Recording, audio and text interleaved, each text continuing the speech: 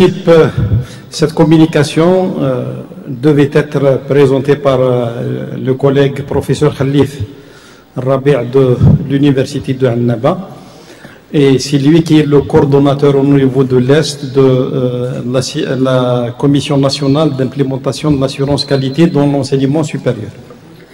Donc, à travers cette conférence, on va aborder l'assurance qualité, donc des généralités, quelques notions générales, et puis euh, quelques outils rapidement qu'on va survoler, puisque les outils seront utilisés beaucoup plus par la cellule assurance qualité.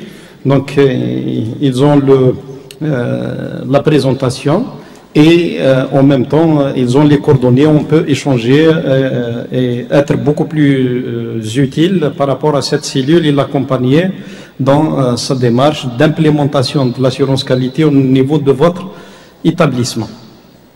Donc tout à l'heure, à travers euh, les images de tout à l'heure, donc on a accès beaucoup plus sur le sens de la, collaboration et sur le sens de travail en équipe et euh, l'importance de chaque élément dans le système.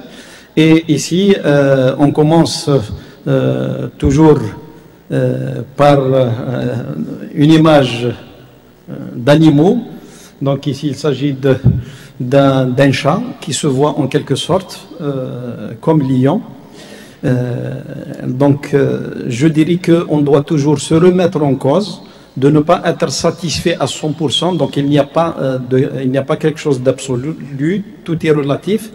Donc, et en même temps, il vaut mieux être acteur que spectateur. Donc, c'est juste sous la photo, il vaut mieux, mieux vaut un imbécile qui marche mal que deux intelligents assis qui discourent avec brio sur les difficultés de la marche. C'est-à-dire, il vaut mieux être acteur qu'être spectateur.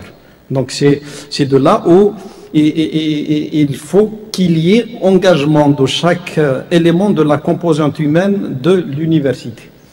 Donc, euh, aussi, euh, Einstein a dit la folie consiste à répéter inlassablement la même chose en s'attendant à des résultats différents. C'est-à-dire si on rentre dans la routine et au bout de cette routine c'est toujours l'échec, donc on ne doit pas s'attendre qu'il y ait succès ou qu'il y ait réussite du moment qu'on est en train de refaire la même chose, je m'excuse du terme, les mêmes erreurs et les mêmes bêtises.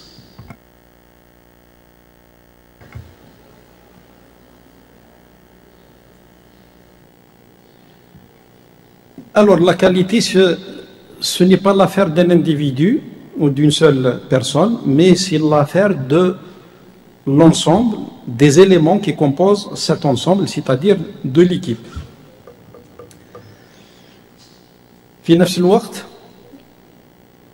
Donc nous avons besoin d'outils et de mécanismes. Et on va aborder un certain nombre, on va survoler plutôt un certain nombre d'outils et de mécanismes. Et il y a l'entraide. L'entraide, ça veut dire il y a euh, collaboration et, euh, entre les différents éléments constituant donc euh, cet établissement ou, cette entité. Donc on va aborder un certain nombre de notions de, et outils de l'assurance qualité. Pourquoi? Et premièrement, pour s'approprier le référentiel national d'assurance qualité et deuxièmement, pour faciliter l'implémentation de l'assurance qualité dans votre établissement. Et on va voir tout à l'heure les étapes à suivre, de telle sorte est-ce qu'il y ait réussite de cette démarche d'implémentation. Donc, je survole rapidement l'historique de l'assurance qualité au niveau de euh, notre enseignement supérieur. Donc, comme vous le savez, il a été décidé en 2002-2003 la, mise en place d'un nouveau système LMD euh, concernant les diplômes, l'enseignement, la formation supérieure. Donc, euh, on s'est aligné par rapport à ce qui se fait à l'international pour faciliter la lecture des diplômes. Auparavant, on avait technicien supérieur, DEA, DES, euh, ingénieur d'application, ingénieur d'État, magistère, doctorat, doctorat d'État. Donc, c'était difficile. Il y avait beaucoup d'équivalence et c'était en quelque sorte euh, la lecture était plus difficile, donc il fallait unifier. Et ils ont pris donc à travers le processus de Bologne donc l'organisation de l'enseignement supérieur en trois paliers licence, master, doctorat. Et une fois que ce système a été adopté, le décret a été promulgué pratiquement cinq ans après. C'est-à-dire, c'est au moment où les premiers masters ont été euh, délivrés, en 2008, février 2008 exactement.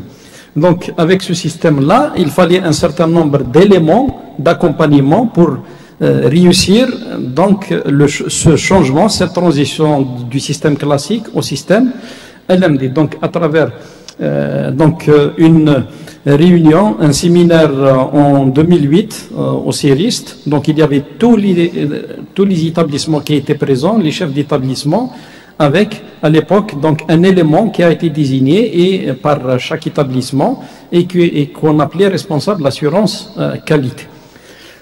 En 2010, il y a eu la mise en place donc, de la première commission nationale d'implémentation de l'assurance qualité dans l'enseignement supérieur et puis silence euh, radio jusqu'à 2011. En 2011, donc, il y avait le lancement du projet euh, PAPS, la politique euh, d'appui à la politique, euh, programme d'appui à la politique sectorielle dans l'enseignement supérieur de la recherche scientifique. Votre établissement était présent et était partenaire et il était même pilote, je crois, le résultat R6 RCS a la relation avec le secteur socio-économique. Euh, moi-même, j'étais euh, membre dans ce projet, enfin, à travers euh, l'établissement CITIF 1. Et la même année, juste après 2012, il y avait le lancement des formations des responsables d'assurance qualité. La CIACS a organisé donc un cycle de formation à l'échelle régionale, donc des, des responsables d'assurance qualité au niveau des établissements. Donc des regroupements de deux jours, trois jours, mais qui s'étalaient donc, euh, dans le temps. Et pratiquement l'ensemble, c'était une moyenne de 21 jours à 25 jours euh, en tout. En 2015, donc la première SIACAS a terminé son mandat, donc il y avait renouvellement de la SIACAS, et à partir de cette SIACAS-là, elle a mis une feuille de route donc pour d'autres activités. J'ai oublié de le souligner, durant la formation des RAC, il y avait en, quelque sorte, euh, en parallèle, c'était de la formation dans l'action, donc la préparation de référentiel national assurance euh, qualité. Et euh, durant les formations, donc les RAC ont contribué à l'enrichissement donc, et la préparation du référentiel. Ce référentiel, dans sa version première, donc, a été euh, donc euh, la SIACAS l'a remis au ministère et puis le ministère l'a fait valider par une agence d'accréditation d'assurance qualité internationale et, il a été distribué par la suite euh, aux, différents, aux différents établissements.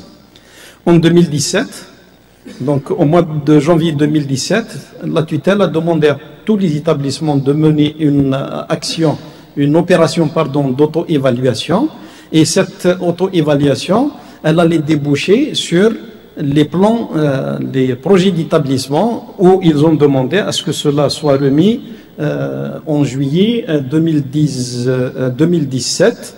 Et puis en 2018, l'opération de l'évaluation externe, il y a eu 10 établissements qui ont été évalués par des experts nationaux et des collègues venus du Canada. Et euh, en 2019, il y a eu reprise de formation des RAC parce que je souligne, il y a beaucoup de déperditions, donc peu de RAC, donc n'ont pas trouvé l'appui nécessaire au niveau de leur établissement, du moment que euh, la cellule assurance qualité n'est pas dans euh, l'organigramme de, des universités, donc il y a eu beaucoup qui ont abandonné parce qu'ils n'ont pas trouvé l'appui nécessaire des responsables des établissements, certains établissements, je ne généralise pas. Et euh, donc en 2019, il y a eu relance des formations. Nous avons assuré une formation à Constantine pour l'Irak de l'Est en février 2019 et puis en octobre 2019 à Oran pour ceux de l'Ouest. Ça n'a pas été fait euh, jusqu'à présent pour les, les, les RAC de, Je fais un clin d'œil à Madame euh, la directrice de l'évaluation et, de l'assurance qualité. Ça n'a pas été fait pour les RAC de la région centre. Donc voilà, il y avait beaucoup d'actions qui ont été menées dans le but d'implémenter l'assurance qualité dans les établissements. Alors, on va voir maintenant c'est quoi la qualité. Comme vous le savez, depuis toujours, l'être humain a essayé de bien faire les choses, soit d'une façon artistique, soit dans le comportement, soit donc il cherche toujours à donner le meilleur de soi. Donc généralement, quand on parle de qualité, c'est une notion subjective. Par contre, maintenant, on doit parler de qualité comme euh, entité, euh, comme, euh, comme élément mesurable, c'est-à-dire quantifiable. Alors, qualité qui va être quantifiée. Donc, retenez bien à peu près cette, cette, cette liaison entre qualité et quantification. Donc, si on définit d'une façon très très simple la qualité, c'est l'atteinte des objectifs. C'est-à-dire, on a parlé tout à l'heure d'objectifs dans le projet de l'établissement. Si on fixe euh, des objectifs et on arrive donc après un certain nombre d'activités, d'actions en réunissant les moyens et après avoir évalué, on remarque que ces objectifs ont été atteints, c'est-à-dire traduits en résultats, ça veut dire que nous sommes dans la qualité. Donc la démarche qualité, ce n'est pas seulement l'amélioration des résultats, les performances de l'établissement, mais aussi l'amélioration de sa gestion, de la gestion de toutes les activités de l'établissement. C'est-à-dire l'élément euh, gouvernance ou le domaine gouvernance est un élément clé parce que la gouvernance est transversale à tous les autres domaines. C'est-à-dire s'il y a mauvaise gouvernance, ça veut dire c'est tous les autres euh, domaines qui vont se gripper. Par contre, la gouvernance, donc on doit la mettre euh, en avant. Elle est, euh, peut pas, il ne peut pas y avoir une bonne une formation de qualité si la, bonne gouvernance fait euh, défaut.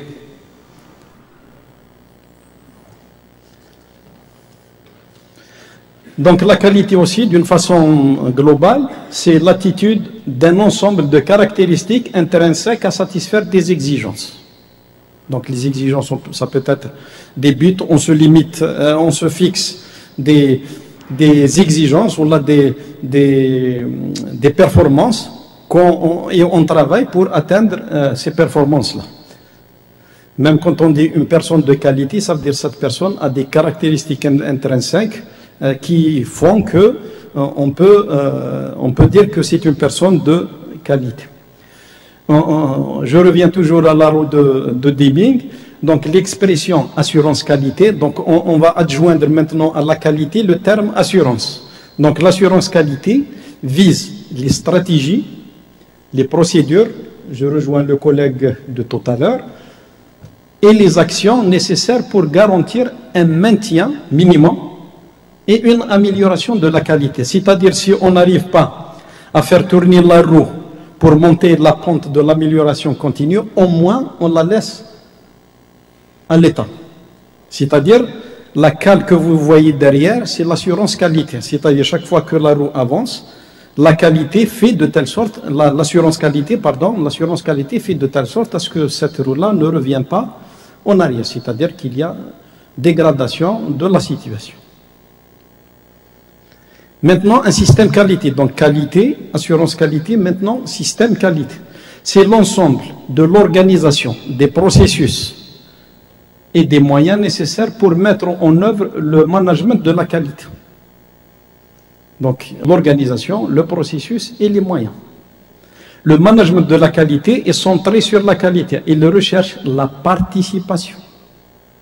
Il recherche la participation de tous et vise le succès à long terme, c'est-à-dire Kingolo à long terme, donc il y a derrière vision, il y a stratégie. Par la satisfaction du client. Le client, c'est qui? C'est l'étudiant. C'est l'étudiant, si on parle de formation, si on se limite le volet formation la satisfaction du client et des avantages pour tous les membres de l'organisme ainsi que pour la société. C'est-à-dire on intègre l'organisme, c'est-à-dire les membres de la communauté universitaire et nous avons une en tant qu'établissement du supérieur une responsabilité sociétale, ça veut dire on doit répondre aussi aux attentes de la société en général. Les principes fondamentaux du management de la qualité, orientation vers le client l'élément principal c'est bien l'étudiant. S'il n'y a pas l'étudiant, il n'y a ni ministère, ni établissement, ni recteur, ni doyen, euh, ni vice-recteur, ni ainsi de suite. Donc l'élément principal, tout doit être réfléchi autour de l'élément principal, c'est l'étudiant. L'implication des managers.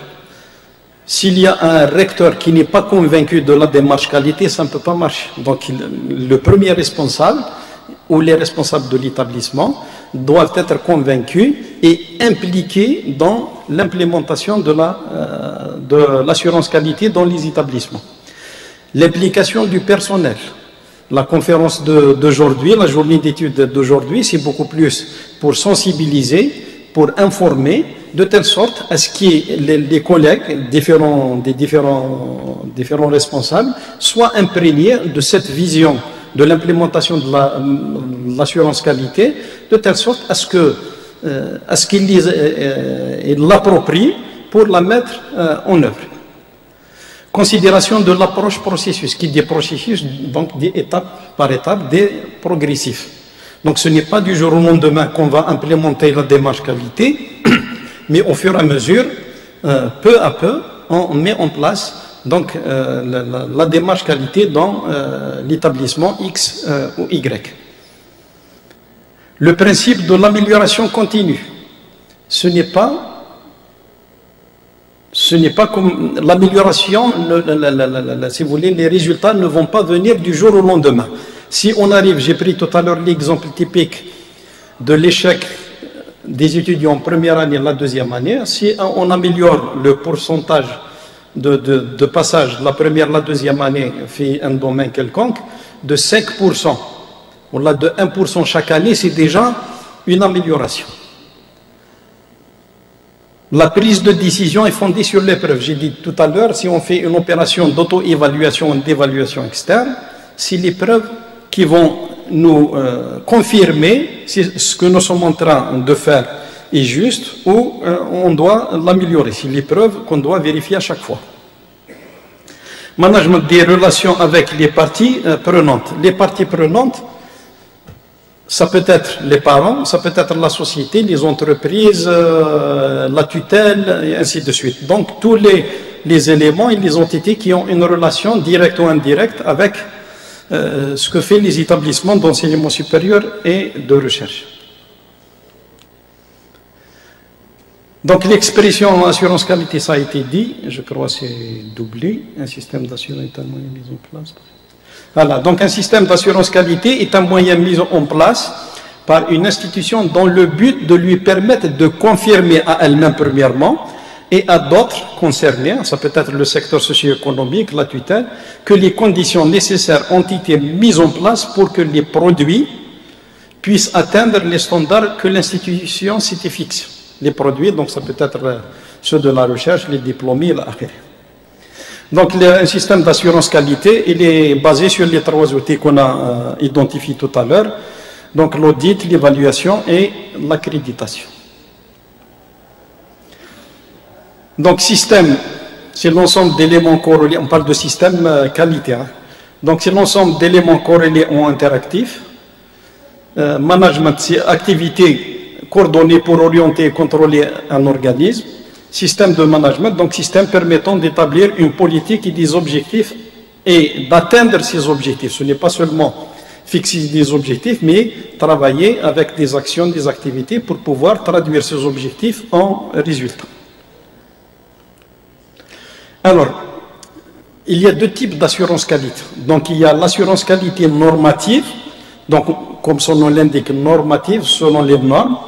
Donc c'est basé sur les performances et on cherche ici l'accréditation et la certification. Au niveau des établissements algériens, nous ne sommes pas dans cette situation, nous sommes plutôt dans la situation de droite. Nous sommes dans une approche c'est-à-dire nous cherchons une amélioration continue de ces performances, donc à travers une évaluation euh, continue et régulière que cela soit donc en interne euh, auto-évaluation ou une évaluation externe. Donc nous sommes beaucoup plus l'approche formative. Une fois que l'agence soit, euh, soit installée, l'agence d'assurance qualité, peut-être d'accréditation, je ne sais pas quel est le, le nom qu'ils vont lui donner, peut-être elle va accréditer, donc il y aura un classement des établissements et il y aura des accréditations. Et on va voir tout à l'heure c'est quoi la différence entre évaluation, accréditation et audit. Donc, ça, donc il faut des outils. dans les deux cas. Donc, un référentiel, assurance qualité. Il faut, quand on mesure, même en métrologie, pour les collègues de, technologie, donc même pour la métrologie, il y a des mesures directes, mais il y a aussi des mesures par comparaison, c'est-à-dire des vérifications, sans aller jusqu'à la mesure, la quantification exacte. Alors maintenant, pour implémenter euh, l'assurance qualité, on va parler de, rôle de, de, quelques éléments. Comme vous voyez, le rôle du chef d'établissement, il est primordial.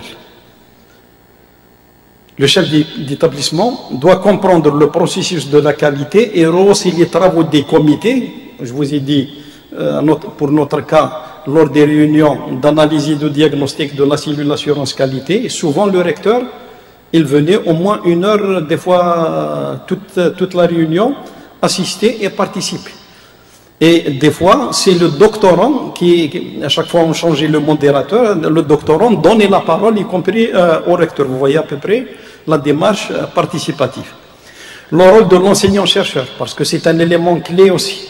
Quand on va parler, on, va, on parle des missions, donc, euh, formation, recherche, si on rajoute la gouvernance qui est transversale, la majorité des acteurs dans ces trois euh, missions, c'est bien l'enseignant-chercheur. Enseignant, chercheur pour la recherche, et aussi en tant que euh, dirigeant pour gérer une faculté ou un laboratoire ou un département. L'accompagnement des enseignants. Donc, il faudrait que chez les enseignants-chercheurs, il faudrait qu'il y ait cette... Euh, c'est comme en football, il faudrait qu'il y ait cette, je ne sais pas, cet engagement d'appartenance à un établissement. Si je suis originaire de la wilaya de Béjaïa, mais je défends, les, je défends les couleurs de l'université de Sitif. C'est à peu près la même chose. Donc il faudrait que chaque élément soit, euh, si vous voulez, euh, soit fier d'appartenir à son établissement. Donc il faut en quelque sorte, semer cette, cette graine au niveau des nouveaux enseignants, au niveau des doctorants et ainsi de suite. Pour qu'ils travaillent, il faudrait que chaque élément comprenne qu'il est une partie indispensable, à son établissement. Il faudrait aussi que l'établissement comprenne que chaque élément euh, est indispensable pour qu'il gère son plan de carrière et ainsi de suite. Et sa promotion. L'innovation, on l'a dit tout à l'heure, euh, l'innovation au sens euh, large de terme, donc il faut euh, toujours renouveler, chercher du nouveau. Qui dit nouveau, ça veut dire dans le sens positif, dans le sens de l'amélioration. La visibilité de l'établissement, parce que il y a comme outil aussi le benchmarking, donc on doit se comparer aux autres, mais on doit aussi être visible pour les autres, c'est-à-dire on doit faire savoir ce qu'on fait. C'est très important. C'est pour ça que euh, je, prends le cas de l'université de Msila, je me permets de prendre l'exemple. Euh, il y a trois ans, quatre ans, il ne figurait pas pratiquement dans les classements. Je parle beaucoup plus le classement Wabometrics qui fait, qui fait introduire par rapport à THE les performances, mais aussi la présence sur le net. Donc ils ont mis le paquet pour la numérisation et se retrouvent dans le classement euh, Wabometrics, donc en haut du classement des universités nationales. Donc, ils ont utilisé une force pour faire valoir leur visibilité à l'international. Le euh, monitoring, ça veut dire qu'il faudrait qu'il y ait des réunions régulières d'analyse, de, de diagnostic, ne serait-ce que euh, si vous voulez, des, cercles de réflexion des économistes au niveau des entreprises, je ne sais plus quelle, euh, quelle est l'expression. Donc, euh, chaque début de semaine, par exemple, ils se réunissent, les différents responsables de service, pour coordonner les activités de la semaine et mettre en place donc les actions à réaliser le laps de temps avec ça peut être une semaine, 15 jours, il a l'ITIC. Donc c'est un outil pour l'outil assurance qualité. C'est très important. C'est-à-dire, euh, tout à l'heure le collègue a parlé de guide de procédure. Ce guide de procédure peut être en un clin d'œil dispatché déjà quand il est préparé à l'ensemble de la communauté universitaire. Le système d'information.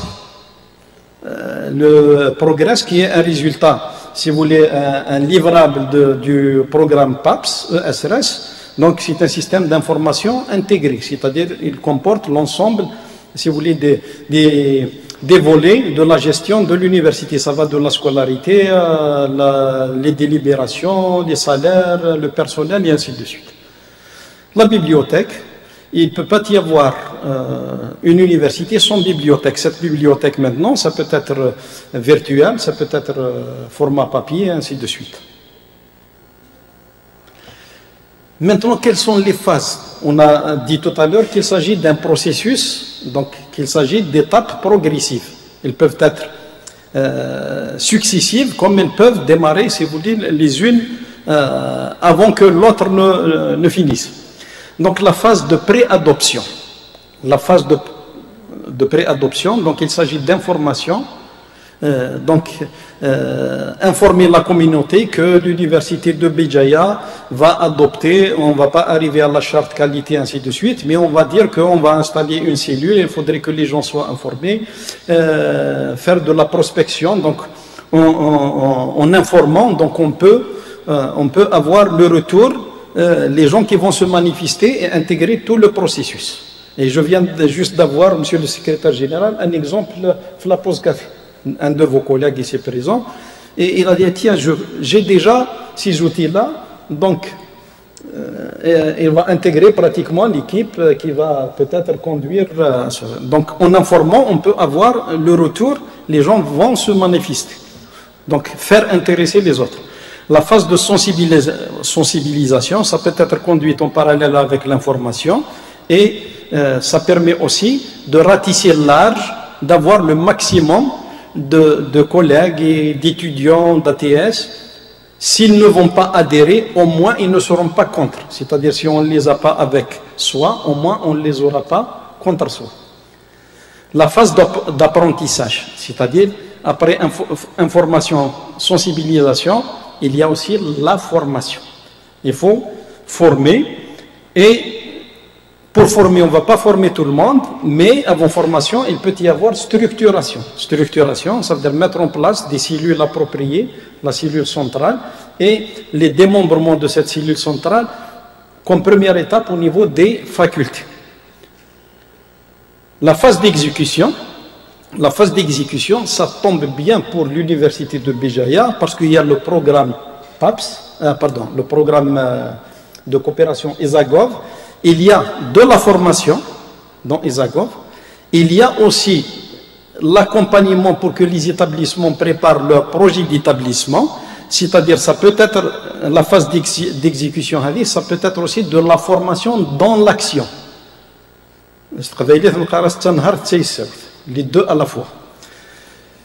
Donc la cellule assurance qualité, CAC, a pour mission l'instauration progressive d'une culture d'excellence. Parce que l'assurance qualité, on vise l'excellence. Chaque fois, c'est comme les sports de performance, le saut en hauteur par exemple, chaque fois que le sauteur, euh, sauteur saute une hauteur, donc on élève encore la barre, donc on fixe notre objectif et ainsi de suite. Donc il s'agit d'une culture d'excellence et de l'auto-évaluation à l'échelle de notre de l'université. Donc il faut toujours se remettre en cause, même si on atteint, fait un classement, un niveau, on, sait, on se compare comme première étape maintenant aux universités nationales, mais on doit dépasser ce stade. L'université qui est classée première doit se comparer à l'échelle euh, régionale, africaine par exemple, à l'échelle mondiale et ainsi de suite. Donc chaque fois, il faut voir grand et mettre les moyens et euh, régler, si vous voulez, l'orientation vers cet euh, objectif.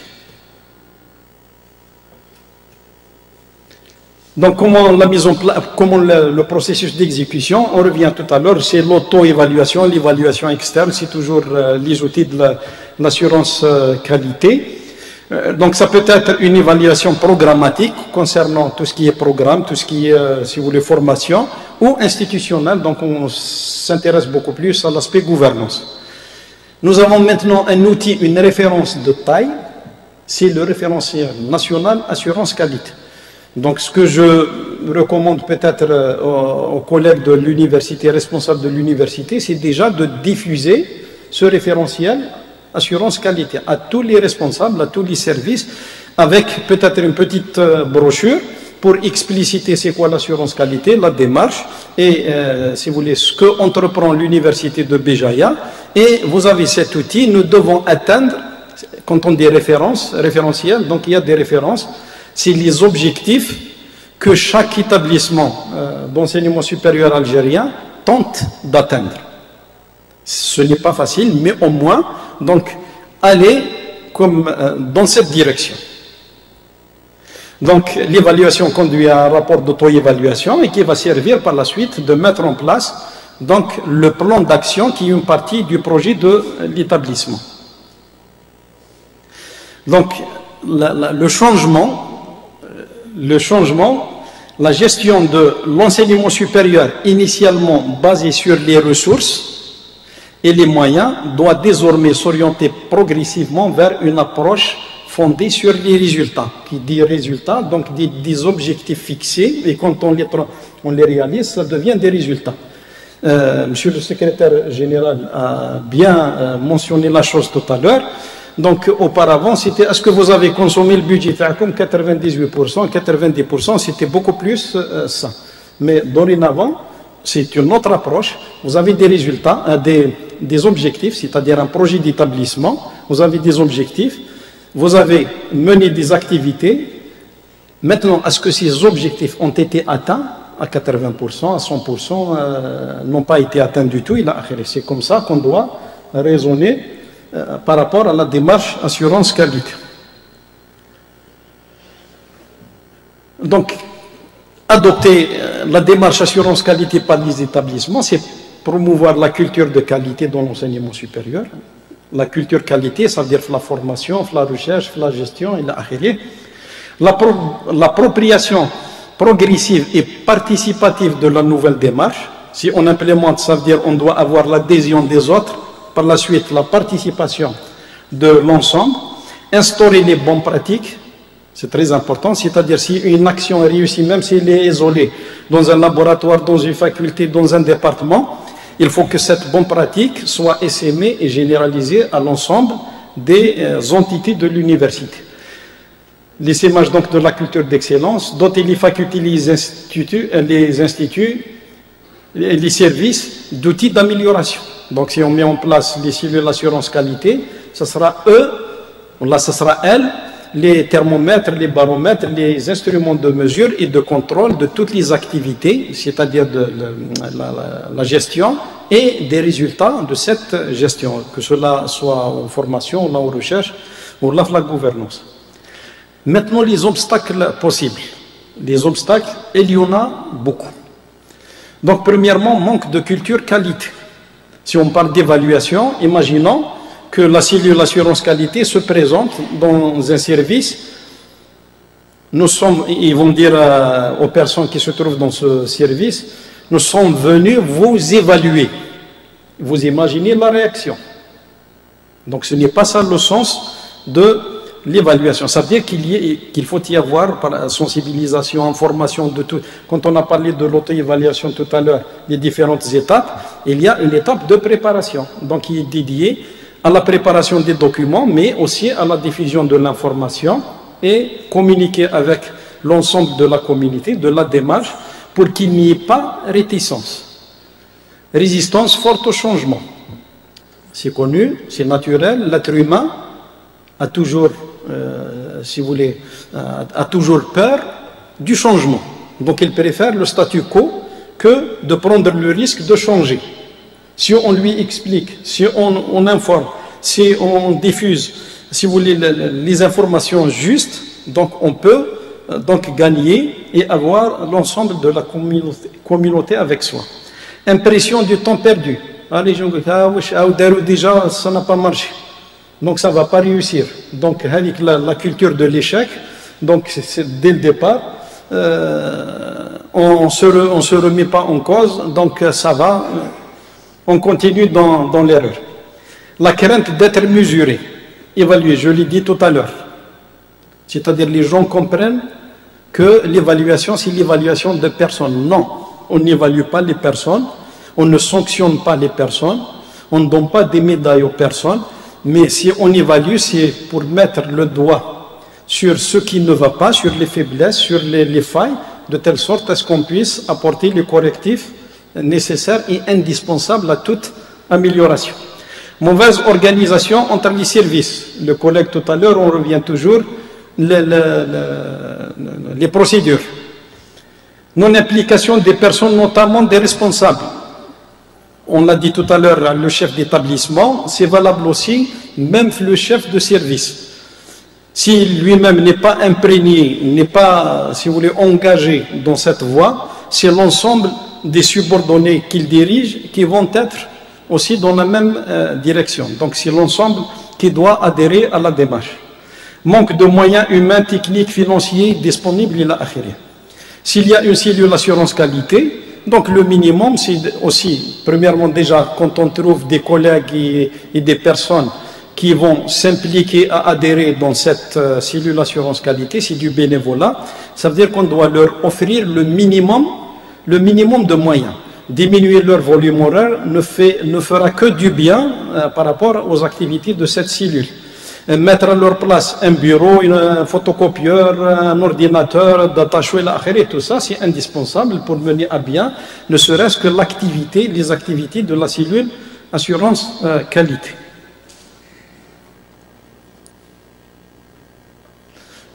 Comment maintenant, comment réussir cette démarche d'implémentation? Donc, euh, c'est une démarche participative. Je ne vais pas euh, revenir sur chaque euh, détail. Vous, la communication va être peut-être distribuée, donc vous pouvez avoir les détails.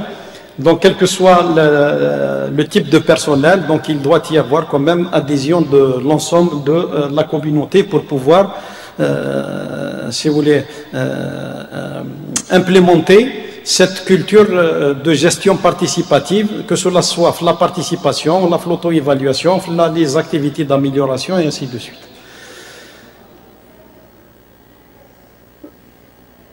Satisfaction, ça veut dire qu'on évalue, donc on, va mesurer en quelque sorte le degré de euh, satisfaction de chaque euh, membre de cette communauté et surtout s'il ressent la sensation d'avoir participé à la réussite de l'opération maintenant ou à la réussite d'une activité ou d'une action.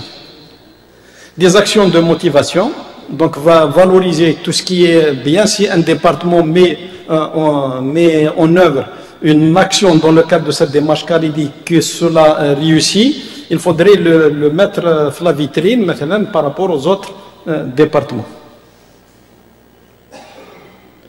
Alors maintenant, on arrive les, les, trois outils essentiels de, la démarche qualité, de l'assurance qualité. Donc il y a l'audit.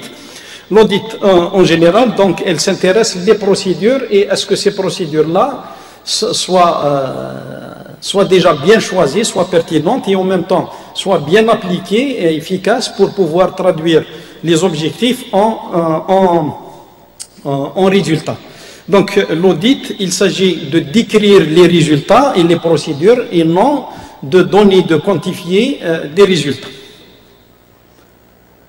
Contrairement à l'évaluation, quand on dit on va évaluer les étudiants, donc on va organiser des examens et on va euh, contrôler en quelque sorte et mesurer le degré de perception des enseignements des activités pédagogiques de ces étudiants. C'est-à-dire on donne par la suite euh, une note, une note sur 20 dans l'évaluation. Ça peut être aussi des notes de 1 à 5, ça peut être euh, des degrés de satisfaction, moins satisfait, plus très satisfait, ainsi de suite. Ça peut être des notes de 1 jusqu'à 4 ou 5. Et donc il y a un résultat de la quantification. Il y a mesure. Et cette mesure peut être traduite par des schémas. Généralement, c'est des représentations en radar. C'est plus facile à lire. Et directement, on voit, euh, par exemple, ce qui va, ce qui ne va pas. Et on remédie à ce qui ne va pas. Surtout, on consolide tout ce qui marche. Et on rectifie tout ce qui ne marche pas.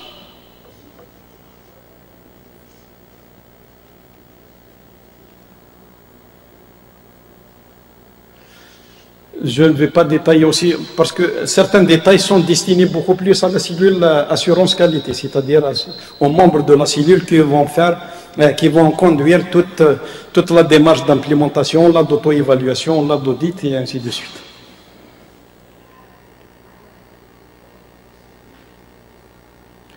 Euh, tout à l'heure, on a parlé euh, d'obstacles par rapport à l'implémentation de la démarche qualité. La même chose aussi, il peut y avoir beaucoup d'obstacles par rapport à une opération d'auto-évaluation.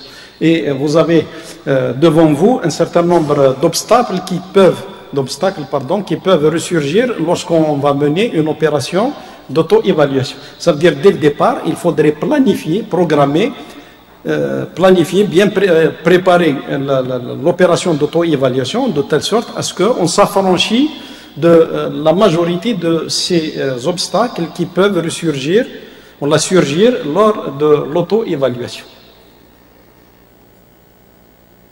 Donc l'audit, on l'a dit.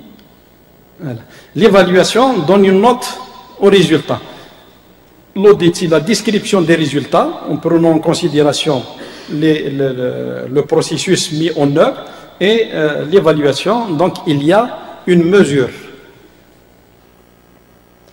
L'accréditation, alors, l'accréditation, quand on dit l'évaluation, donc ça débouche sur une, euh, une note, ou là, une mesure. Donc, la question qu'on se pose, on dit, quel est votre niveau? C'est-à-dire les étudiants, par exemple, sont classés par ordre de mérite, la plus haute note, euh, par ordre, euh, si vous voulez, de mérite, la note la plus élevée, la note la, moins élevée. C'est une évaluation. Maintenant, quand on parle de l'accréditation, c'est toujours les résultats, on mesure les résultats, mais pas une note attribuée.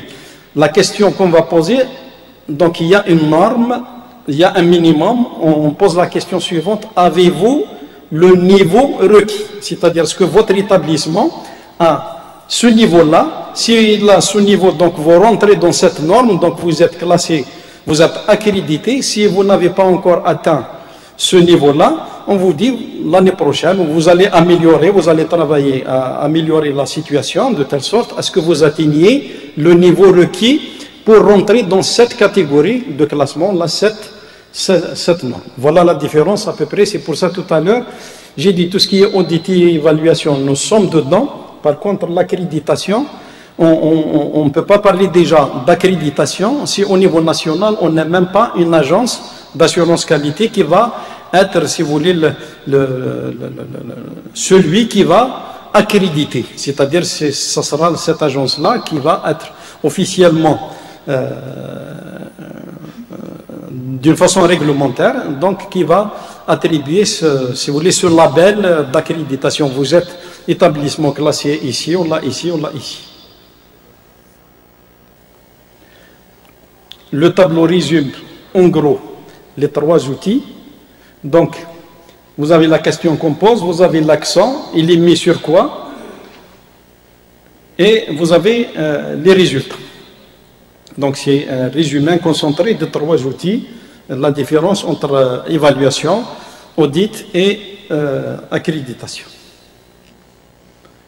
Les outils de l'assurance qualité. Il y a énormément d'outils pour, euh, pour mettre en œuvre la démarche qualité. Et la majorité des outils sont empruntés du système économique, enfin des, des entreprises en particulier. Donc il existe de nombreux outils qui permettent donc de mener euh, euh, des analyses pour chercher les causes qui ont fait que les résultats ne sont pas atteints ou les causes qui ont fait qu'il y a tel effet négatif ou tel effet positif. Donc aller agir sur les causes pour pouvoir améliorer la situation. Donc généralement, les collègues qui doivent être la cellule d'assurance qualité, parce que si on se trompe dès le départ, du profil des personnes qui vont siéger la cellule d'assurance qualité, que cela soit celle centrale euh, sous l'égide du recteur ou celle au niveau des facultés, il faudrait qu'il y ait un certain nombre de critères qu'on doit prendre en considération lors du choix des membres de ces cellules. C'est très important. Donc il faut qu'il y ait un capital, que euh, c'est des gens qui euh, savent animer, qui savent rédiger des rapports, qui sont engagés, dynamiques, qui ont un passé quand même euh, positif à l'université, donc un capital à, faire valoir. Ça ne veut pas dire qu'on va prendre rien que les gens d'expérience, mais il faut intégrer beaucoup de jeunes et je vois c'est un bon signe aussi par rapport à votre université. donc impliquer, le, si vous voulez, il faut qu'il y ait relève. donc c'est très important d'impliquer la démarche qualité des jeunes et notre tutelle a fait de telle sorte aussi que pour les, nouveaux enseignants, les enseignants nouvellement recrutés, qui, le programme, euh, si vous voulez, de, de, formation d'accompagnement, c'est plus juste, le programme d'accompagnement pour réussir leur adaptation, il y a toute une partie dédiée à l'assurance euh, qualité.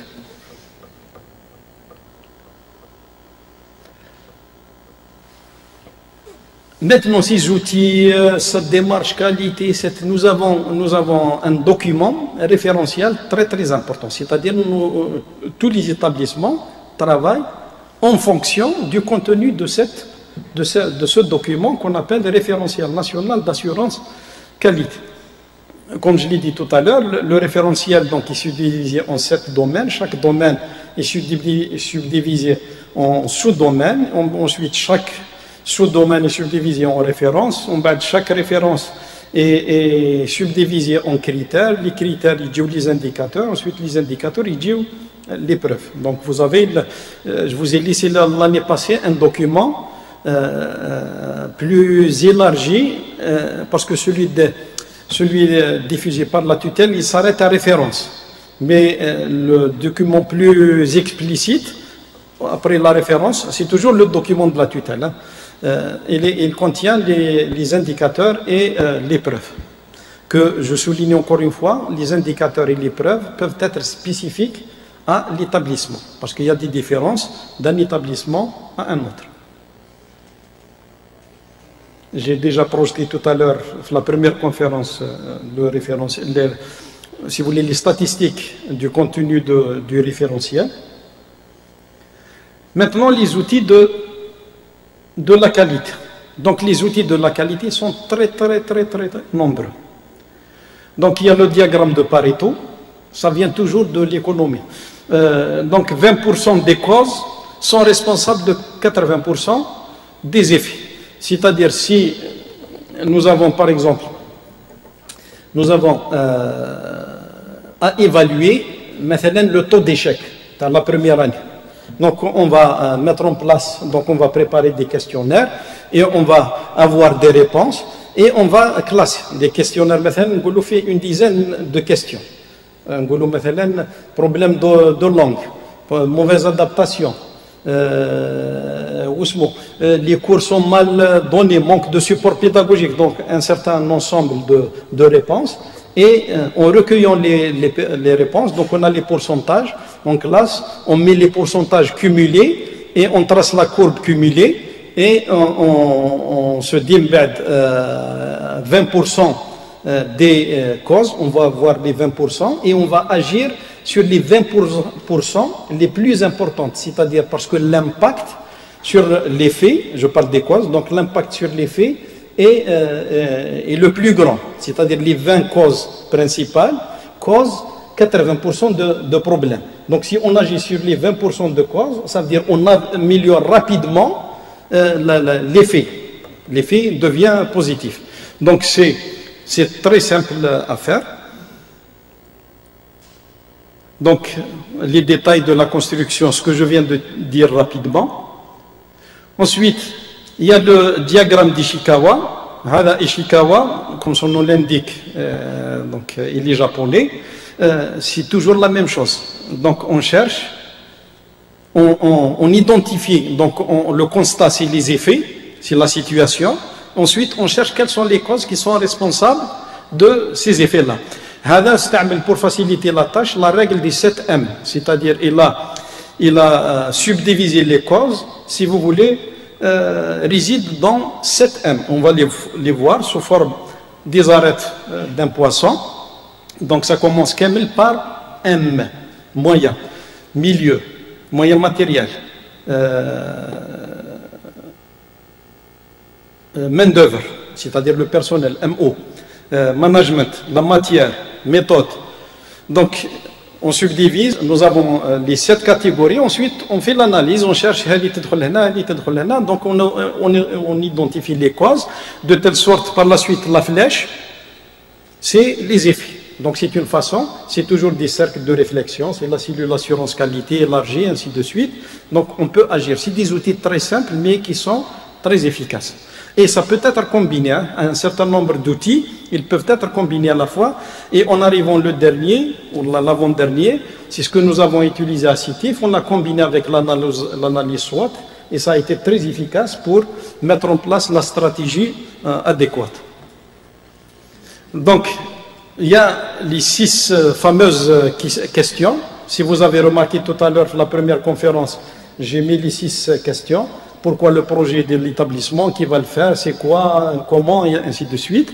Donc, c'est des questions donc, dans une position interrogative, donc on se pose ces questions-là et on arrive à cerner, en quelque sorte, les, les, les, causes qui ont fait que ça n'a pas marché dans telle activité ou tel résultat n'a pas été atteint. Donc, comme vous voyez, jusqu'à présent, la première, elle est un peu, euh, elle est un peu détaillée. Les deux autres, Ishikawa ou Hadi, elles sont générales. C'est beaucoup plus de la réflexion. Les cinq pourquoi, donc c'est cinq questions successives. Pourquoi On répond à cette question? Ensuite, un, autre pourquoi qui va venir de la première réponse et ainsi de suite. On va voir juste l'exemple suivant pour faciliter la compréhension. Donc pourquoi la question principale, c'est pourquoi l'insertion professionnelle des, diplômés échoue. C'est-à-dire pourquoi il y a un fort taux de chômage chez les diplômés universitaires.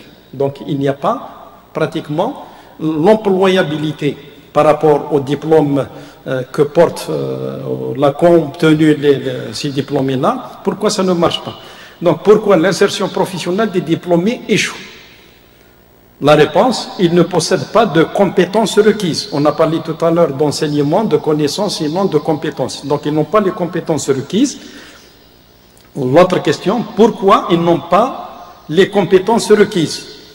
Ils n'ont pas effectué de stage pratique en entreprise. L'autre question, pourquoi ils n'ont pas fait de stage pratique en entreprise? Les stages n'ont pas été programmés parce que le, le le cursus de formation, ils n'ont pas prévu les les, stages. Pourquoi ils n'ont pas été programmés? Tout simplement, les stages n'ont pas été prévus dans l'offre de formation. Pourquoi ils n'ont pas été prévus dans l'offre de formation? Tout simplement parce que les besoins des entreprises n'ont pas été pris en considération. C'est-à-dire, on boucle la boucle, on arrive à la cause principale pour répondre, si vous voulez, au problème principal. Au bout de cinq questions, c'est une moyenne. On peut, si on n'arrive pas à la réponse principale, on peut rajouter une autre et ainsi de suite. Donc vous voyez, c'est un outil simple. On arrive à cerner le problème qui a fait que les étudiants n'arrivent pas, les diplômés n'arrivent pas à trouver de l'emploi avec leur diplôme. C'est pour ça que l'objectif d'un plan, euh, d'un projet d'établissement, si vous voulez, on a parlé de professionnalisation de la formation la, conférence précédente. Les cercles de qualité. Les cercles de qualité, c'est des cercles de réflexion, donc un certain nombre de personnes qui se réunissent régulièrement pour traiter une problématique et arrivent à sortir avec euh, une analyse. Donc c'est beaucoup plus libre euh, pour, euh, pour les cercles de qualité. Le benchmarking. Le benchmarking, ça veut dire on doit se comparer autres. Donc là où ça a marché, donc on doit, je ne dirais pas copier-coller, mais on doit adapter euh, ce, qui, ce qui marche. Euh, ce qui marche. Euh, on a pris l'exemple de Msila, donc ils, ils utilisent tous les adresses professionnelles, les emails. Ils utilisent, c'est tout le monde qui utilise, parce que derrière, si vous n'avez pas le compte Google Scholar, si vous n'utilisez pas l'adresse professionnelle, donc par exemple, vous n'ouvrez pas droit au stage. C'est des choses de ce genre qui peuvent, euh, par exemple, ça a marché à là, pourquoi ça ne marcherait pas à Béjaïa ou la Cité ou la Donc il faut se comparer aux autres et tirer profit des expériences qui ont réussi euh, ailleurs. Hadi, elle est très importante. À CITIF, on a utilisé le brainstorming ou remue-ménage et couplé à l'analyse SWOT pour, mettre, pour, pour préparer la stratégie de développement de l'université Farhat Abbas. Donc nous avons utilisé l'analyse SWOT et le euh, brainstorming durant tout un semestre. Chaque mardi euh, après-midi, donc on se réunissait et on, faisait, on prenait, euh, on prenait un domaine, on, se dit par exemple aujourd'hui, ce sera la formation, on prend un, sous-domaine de la formation, la semaine prochaine un autre domaine, et ainsi de suite, et on couplait entre l'analyse SWOT et cette analyse. Donc c'est un, un, un groupe, et ce groupe, donc on dit telle chose, on cherche les forces, les faiblesses les opportunités, on fait le tour, on l'a sur des post-it, ça dépend, il y a plusieurs, on a, euh, si vous voulez, une anarchie, chacun, une fois que l'idée est, euh, chacun propose pêle-mêle euh, l'idée, une idée par personne, et on fait le tour, et ainsi de suite. on rassemble l'ensemble des, propositions, et, il n'y a pas de critique, on refuse aucune proposition. Et on ne remet pas en cause, on répond, on répond pas aux uns, les uns ne répondent pas aux autres. Donc on met l'ensemble, ensuite on quantifie quelles sont les, les prioritaires, c'est-à-dire les plus urgentes à prendre en charge et ainsi de suite. Donc ça nous permet en quelque sorte de, de prioriser les, euh, les, les, les, actions à mettre euh, en place, par les actions, euh, les, les objectifs, les objectifs à mettre en place en priorité. Donc il y a un animateur, un secrétaire pour prendre note et là, ça peut être des post-it, c'est plus, plus, euh, c'est plus intime, chacun écrit ce qu'il veut sans connaître euh, ce qu'a écrit son voisin, ou ça peut être euh, verbalement, donc autour d'une table et ainsi de suite. Donc un animateur, un secrétaire, les différentes phases, constituer le groupe, le cadrage, la idées, le sujet à, à, à discuter, ainsi de suite. Euh, qu'est-ce que doit faire l'animateur ou le modérateur de la séance?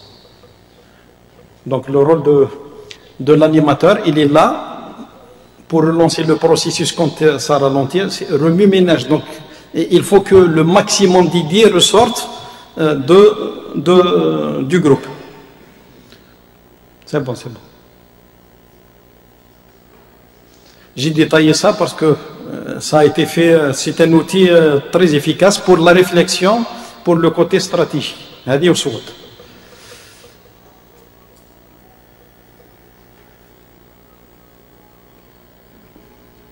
L'analyse on en a parlé tout à l'heure, ça fait partie. Donc, c'est bon. Voilà, je suis dans les temps normalement. Je vous remercie.